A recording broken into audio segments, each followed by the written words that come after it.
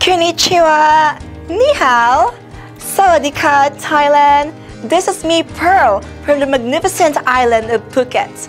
Wow, it's finally March, and time flies so fast. And I am so thrilled now to tell you all the fantastic and exciting events happening this coming week on the sunny side island of Phuket. So, let's hit it! First, let's have the ride for kids, all the way from Hua Hin to Phuket. It's 835 kilometers in six days. Three charities, one mission, and 16 riders from four different communities will form one combined cycling team. The riding experience for them is about 845 kilometers over six days from Hua Hin to Phuket. Next one is our meet and greet coffee this March 9. This starts from 10.30 a.m. at Starbucks Central Festival Phuket. New members are encouraged to join our monthly meet and greet coffee morning to find out more about our organization. It's also a great opportunity for you to chat with our few members in a more casual setting over a cup of coffee.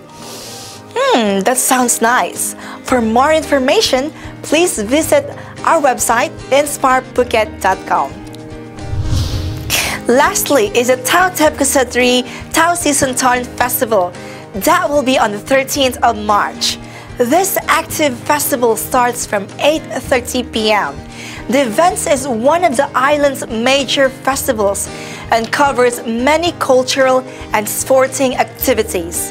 It features a bicycle racing, a takraw tournament, a tug of war, and a mini marathon as well as a Buddhist ordination ceremony. Oh, sounds like a lot of fun. Hmm, I'm pretty sure to see you all fun people here. So, that's all for now guys. These exhilarating events will surely make yourself busy on your holidays here in the gorgeous island of Phuket. I hope to see you all in these events and let's catch up again next week. Have a wonderful time in Thailand and don't forget to live your life as much fun and enjoyment as you can. Well then, till next time, bye!